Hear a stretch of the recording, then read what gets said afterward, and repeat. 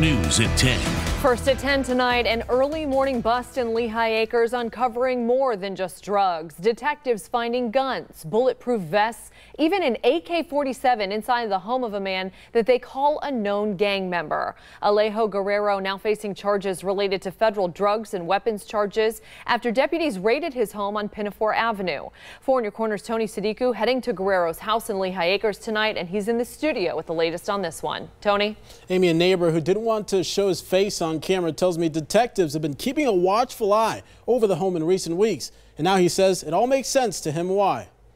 Guns and drugs at the center of an early morning arrest in Lehigh Acres. Alejo Guerrero, a Lehigh Acres man, is now charged with federal crimes. Detectives serving a search warrant raided Guerrero's home on Pinafore Avenue before sunrise Friday morning.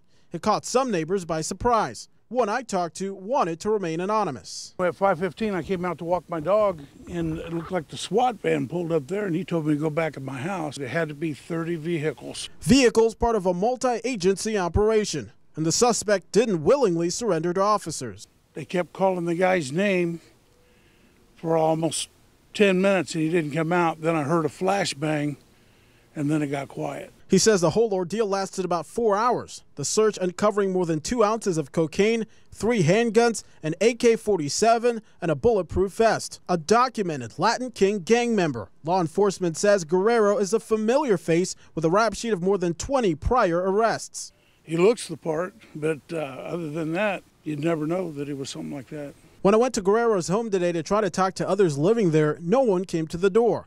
Neighbors say they've had cordial conversations with Guerrero and have never noticed anything suspicious. Because when you think of somebody drug dealing, you think of a lot of traffic getting out and in and out. Not over there. They must be going to do it somewhere else. It does worry me that being that close to my house.